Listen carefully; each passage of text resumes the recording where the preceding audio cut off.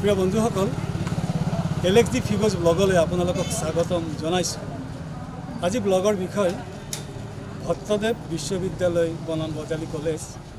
এই বজালী কলেজ সেই তাহানিৰ বজালী কলেজ এইখন আৰু আজি ভট্টদেৱ বিশ্ববিদ্যালয় হ'ল।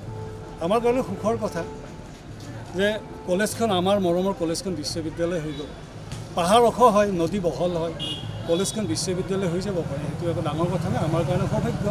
কাৰণ ইয়াত এতিয়া নতুন নতুন গৱেষণা হ'ব নত- নতুন নতুন ডিপাৰ্টমেণ্ট হ'ব। সমগ্ৰ অসম বা উত্তৰ পূৰ্বাঞ্চলৰ মেধাৱী ছাত্ৰসকল আমাৰ বজালীলৈ আহিব আমাৰ পাঠশালালৈ আহিব। এইটো এটা সুখৰ কথা। কিন্তু প্ৰাপ্তি আৰু অপ্ৰাপ্তিৰে গালি নবুজা এইখন কলেজতে আমাৰ ছাত্ৰ জীৱন আমাৰ উচ্চ শিক্ষাৰ জীৱন আৰম্ভ হৈছিলে মেট্ৰিক পাছ কৰাৰ পিছত। অকল মই নহয়। ঊনৈছশ পঁচপন্ন চনত এই যে কৃষিভূমি বজালী আছিলে কৃষিভূমি।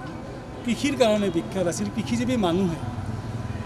এই বজালী কলেজখন স্থাপন কৰিছিলে আমাৰ ককা আমাৰ দেউতাহঁতৰ ঘাম আৰু শ্ৰমত তেনেকুৱা।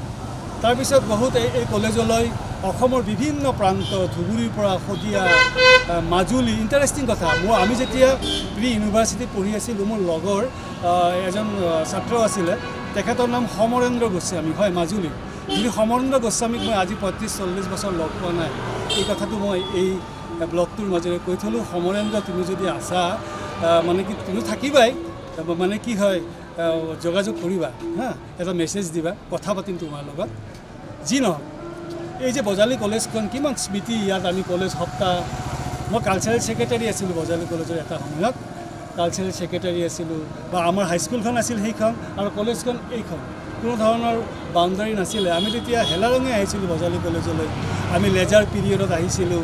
আমি জুলজি ডিপাৰ্টমেণ্টৰ সেইবিলাক স্পেচিমেনবিলাক আমি চাইছিলোঁ। ইণ্টাৰেষ্টিং কথা বজালী কলেজ এনেকুৱা এখন কলেজ গুৱাহাটীৰ মানে গুৱাহাটী বিশ্ববিদ্যালয়ৰ অধীনত বজালী কলেজত বহু বছৰ আগতে মানে পষ্ট গ্ৰেজুৱেট মানে কি ক'ৰ্চ আৰম্ভ হৈছিলে জুলজি আৰু জিঅ'গ্ৰাফী আমি গৌৰৱান্বিত হৈছিলোঁ। অসমৰ বিভিন্ন প্ৰান্তৰ সুদূৰ যোৰহাটৰ পৰাও আমাৰ ইয়ালৈ বজালী কলেজলৈ অধ্যয়ন কৰিবলৈ আহিছিল। যিয়ে নহওক আজি বহুত প্ৰাপ্তি আৰু অপ্ৰাপ্তিৰ আলিদমোজা আমাৰ মৰমৰ বজালী কলেজখন আজি বিশ্ববিদ্যালয় হৈ গ'ল। মোৰ বুলি নহয় বজালী কলেজত যিমানবোৰ ছাত্ৰ ছাত্ৰী পঢ়িছে আগত সকলোৰে এটা নষ্টালজিয়া আজি বজালী কলেজ স্মৃতি হৈ গ'ল। কংক্ৰিটৰ শৰীৰটো ঠিকে আছে বিশ্ববিদ্যালয় আৰু বজালী কলেজ বুলি কওঁতে কংক্ৰিটৰ শৰীৰটো ঠিকে আছে কিন্তু যেন আমি ক'ব নোৱাৰোঁ যে এইখন মৰমৰ বজালী কলেজ বা আমি নতুন জেনেৰেশ্যনক ক'ব নোৱাৰিম। যে এইখনতে আমি আমি পঢ়িছিলোঁ। কিন্তু এইখনততো আমি পঢ়া নাছিলোঁ। এইখন এতিয়া ভট্টদেৱ বিশ্ববিদ্যালয় হৈ গ'ল। যে ভট্টদেৱ বিশ্ববিদ্যালয় হওক আমাৰ কাৰণে সুখবৰ। কিন্তু বজালী কলেজৰ যিটো স্মৃতি সেই স্মৃতিয়ে আম মৃত্যু আমনি দিব। এই বজালী কলেজলৈ বহু দূৰ দূৰণিৰ ছাৰসকল আহিছিলে।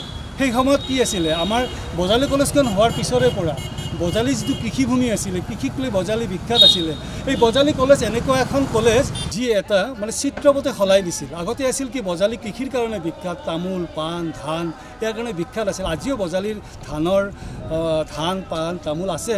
কিন্তু এই কলেজখনে বজালী কলেজে মানে কৃষিভূমি বজালীক বা আজি পাঠশালাক শিক্ষা নগৰীলৈ পৰ্যবেক্ষিত কৰিছিল।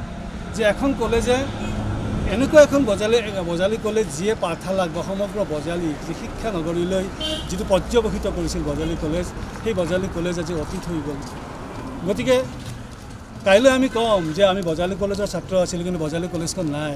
এয়া ভট্টদেৱ বিশ্ববিদ্যালয়। যিয়ে নহওক ভট্টদেৱ বিশ্ববিদ্যালয় জাকত জিলিকা হওক বজালীলৈ সুনাম কঢ়িয়াই আনক। এইখিনি কৈয়ে আজি মই ব্লগটো সামৰিছোঁ। এই সম্পৰ্কত যদি আপোনালোকৰ কিবা কুৱেশ্যন থাকে। আপোনালোকে ক'ব পাৰিব কাৰণ নিশ্চয় বহুতৰে মনত কিছুমান লাখটকীয়া প্ৰশ্ন থাকিব। বহুতে হয়তো গমেই পোৱা নাই যে তেওঁলোকৰ কলেজখন বিশ্ববিদ্যালয় হৈ গ'ল। বজালী কলেজৰ প্ৰাক্তন ছাত্ৰসকলে যদি কিবা মোক সুধিব খোজে কমেণ্টত মই তেওঁলোকৰ লগত মই নিশ্চয় নিয়োজিত হ'ম। এইখিনি কৈয়ে আজি ব্লগটো মই সামৰিছোঁ।